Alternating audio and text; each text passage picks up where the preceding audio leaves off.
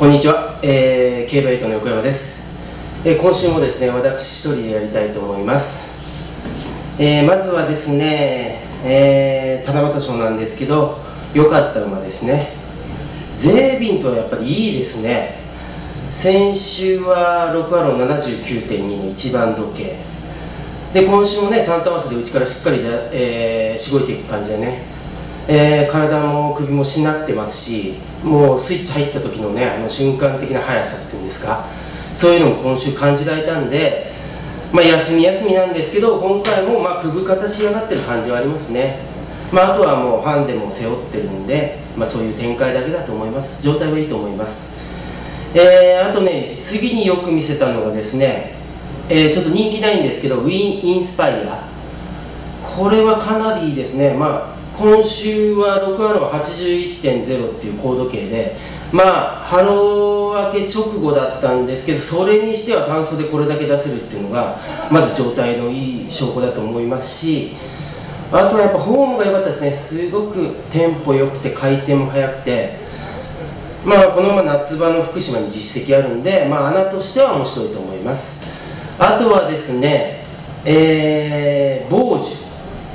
まあ、4月5月6月と一掃して中2週なんで、まあ、調教軽めなんですけど非常にね柔らかみがあってもうバネも良かったんで、まあ、走り機にもなってたんで引き続きこれいい状態キープしてると思われます。あとは鈴鹿デリアス。まあこちらはね少し間隔中4週って空いてるんですけどまあ中間ね長めの調教。えー、シーウッドで81秒6、80.6って2本速いとこやれてるし、まあ、今週もね、ハンドで整える程度でしたけど、最後まで足さばきキリンで、まあ、一文字に来たんで、まあ、こちらも、えー、前回の出来キープしてるなと。あとはですね、フェルメッツァ。これはですね、まあ、中間コースでやってるんでね、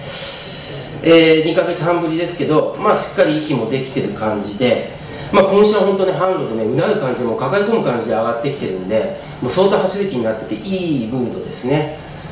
まあ春の福島以来。まあ一応結果出てますけどそれ以来なんですけどこちらもいい具合に仕上がってると。あとはですねどうかなってとこあってパドウィール。まあ、低い姿勢で時計も出てそれなりの動き見してるんですけど前回もこんな感じで全くあの競馬にならなかったっていうか、まあ、不利あったにしろ負けすぎなんで、まあ、このフォームで前回も走れなかったんでちょっと怪しいなっていうの感じはあります。あとはマイネルフロスト、まあ、調教でねちょっと姿勢も高くてあとちょっと突っ張るような感じの走りなんであんまり調教では見栄えしないんですけど、まあ、そんな感じでね、えー、2着3着って復帰後頑張ってるんでまあ、ただいつね気の悪さみたいなの出てもおかしくはないですけどまあ馬体の張りとかは悪くなかったですね。あと下げたいのがねマルターザーポジまあこの馬ね調教ではもう多分南ウトでは1、2争うほどの後者なんですけど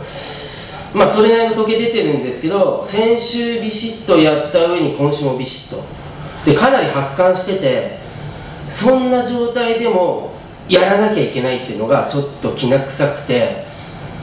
いい状態だったら最小域なんてもうほんと軽く気合いつけたぐらいで水自分から進んでいく感じなんですけど